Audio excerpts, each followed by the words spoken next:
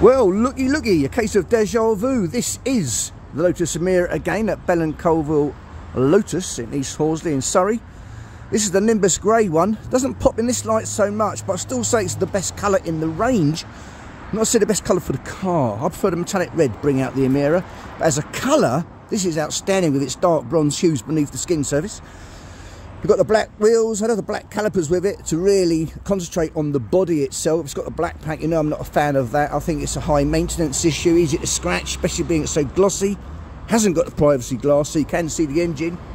Yeah! All in all though, isn't that the dog's danglies? It's still a stain looking car. I still can't believe it's 78 or 82 on the road or whatever, you know, it's still an amazing looking car. It still looks like a supercar for sports car money.